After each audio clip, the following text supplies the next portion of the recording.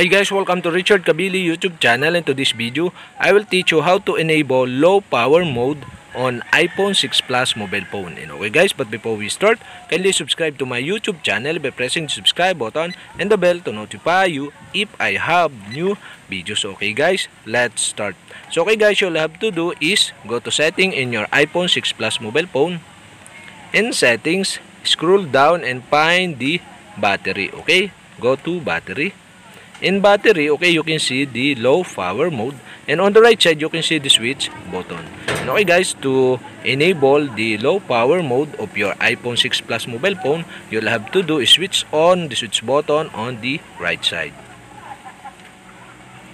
And okay guys, that's it. We have successfully enabled the low power mode on your iPhone 6 Plus mobile phone. And okay guys, if you have a question, kindly comment below. And don't forget to hit the subscribe button and the bell to notify you if I have new videos. Okay guys, thank you for watching.